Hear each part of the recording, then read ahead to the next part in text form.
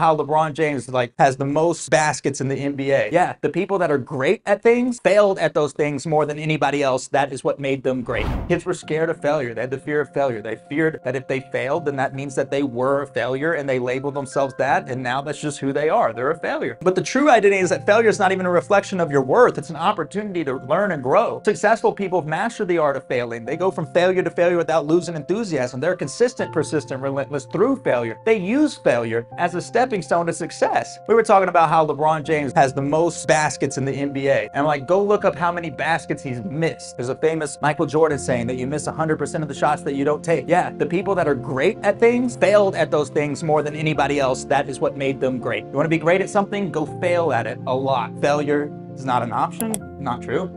If failure is not an option, then neither is success. Failure is the only way to get to success.